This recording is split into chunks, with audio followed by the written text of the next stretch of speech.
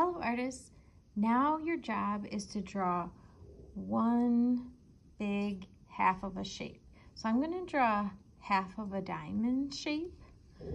So I think I'm actually going to start from this edge and go all the way up. Does it have to be perfect? Of course not. Just try your best. Like that.